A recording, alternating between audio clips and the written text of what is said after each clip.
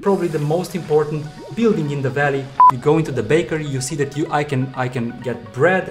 Then you have the tailor, where the tailor will build some socks for now. Hello guys and welcome to Everdale. In this episode we'll go through the valley, probably the most important aspect of the game. Okay, so it's probably day 3 or 4 of my adventure in Everdale and my town looks neat. I'm part of the RAD team um, Valley and we're gonna go through the basics of the valley, what you need to understand about the valley, how you can get gold and how you can get appreciation and lastly become the leader of your own valley. Let's move to the valley. All you have to do either is press this button over here in the right hand side bottom side takes you to the valley or if you want to be if you want to see a nice graphic just zoom out zoom out zoom out now the trees are becoming bigger the houses are becoming bigger and we are in the valley of course the valley is made out of 10 people at the moment so we have 1 2 3 4 5 6 7 8 9 and 1 is one free spot for the valley called Rad's team. Rad is our leader right now. I'm on position 5 and I have 354 hearts if you want to know what hearts is stay until the end of the episode. We will show, i will tell you it's probably the most important ranking system inside the valley. Okay let's go through the valley a little bit. You see there are a lot of um, towns so all the members of the valley have their own cities. We have rad we have della we have most wanted. We have myself we have um, i cannot really pronounce this name. Then we have a nice river on which two boats currently there's only one boat but two boats will dock from time to time. Then we have some other towns and we have some buildings. Each of these buildings are um, we can interact with it. We can raise the level of the building by supporting the valley with resources and with gold. But let's start from the beginning. Probably the most important building in the valley is the Great Library, on which you can see the progress that the valley has made with regard to new updates, uh, new buildings, new things to do for the valley. So you can see here we have unlocked the wheat field, we can unlock the bakery, we can unlock, uh, we can, uh, we leveled up the tailor, we have the potion maker and now we are working on the grand monument. For the grand monument to be completed we need 650 uh, culture books, books, books, sorry, books. And you can earn more books by completing science shipping orders at the harbor. Let's go to the harbor. As you can see here, I have only one boat, is purple, same color as the Great Library, which means that this is a culture boat. And it has currently 18 tasks, out of which only 11 are made. So what you do as a responsible person in the valley as I am, and you want to get your ranks upgraded a little bit, you go here, you tap the, the culture boat and you try to finalize some tasks.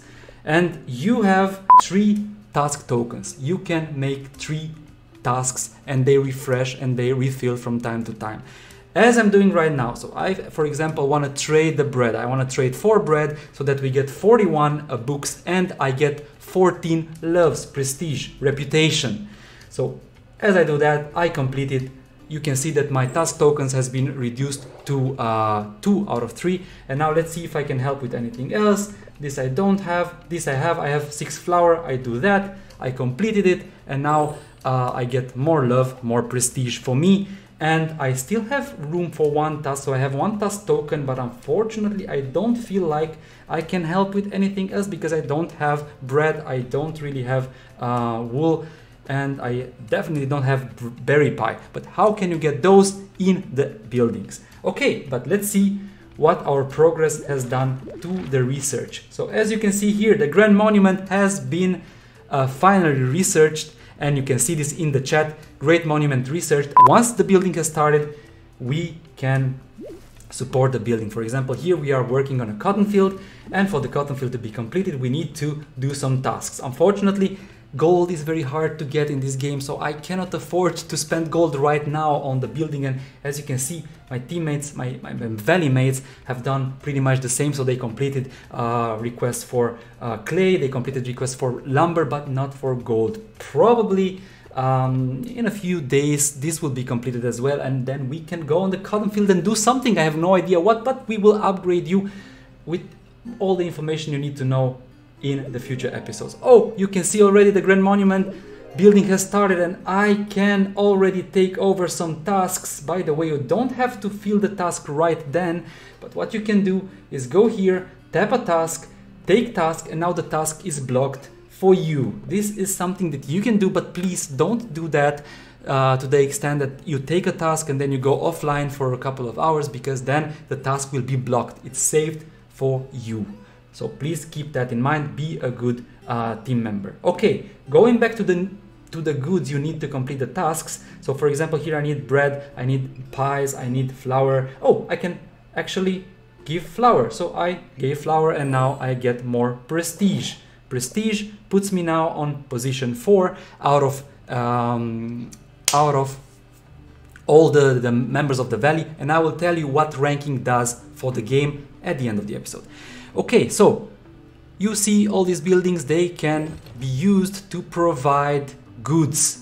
Already the bakery, you go into the bakery, you see that you I can I can get bread and I can get berry pie. Of course, there's a queue. So now Rad is building some bread and I want a berry pie, for example, and I say make and I'm in the queue. So after Rad finishes his bread, then Shikarikita will finish his or her bread and then my pie is up. Unfortunately, I cannot get more than one uh, item on the queue and in order to unlock more, I need to gather more reputation.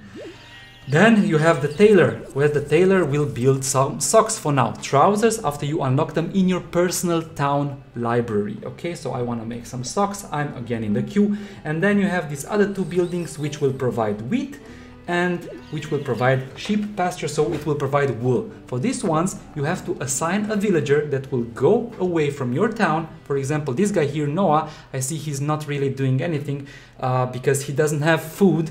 So if I would like to assign him to get a wool for me, I would click on Noah and Noah will be out of town getting wool for me. It will take two hours to get wool and uh, to get uh, wheat, it takes six hours that's the basics of the um, that's the basics of the valley. If you want to know what you can do into the valley at any time you go here into the chat and you see the things that are ongoing um, and you go directly into those things and check whether you if you can help or not with some tasks.